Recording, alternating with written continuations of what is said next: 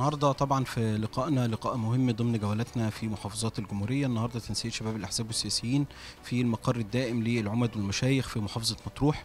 محافظة مهمة النهارده إزاي كان عندنا لقاء النهارده مهم مع القيادات الشعبية والمجتمعية النهارده وكل أطياف المجتمع؟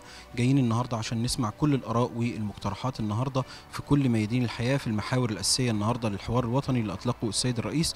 إزاي النهارده كان عندنا محاور كتير النهارده طرحت في الشأن الاقتصادي النهارده والبعد النهارده ما يعانيه النهارده من المحافظات الحدودية من البعد الاستراتيجي والأمني وأهمية النهارده الاهتمام بالمحافظات الحدودية النهارده.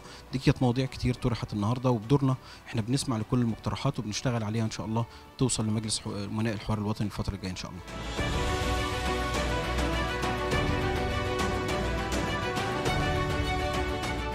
النهارده إحنا في جولة جديدة في محافظات مصر ومن مقر مطروح محافظة مطروح ومجلس العمد والمشايخ. النهارده في ندوة حوالين الحوار الوطني آه، الاستماع إلى نبض المواطنين وأفكارهم ومقترحاتهم حوالين الحوار الوطني وكيفية إيصالها إلى الأمانة الفنية للحوار الوطني. حتى نستطيع أن ننقل نبض الشارع إلى القائد.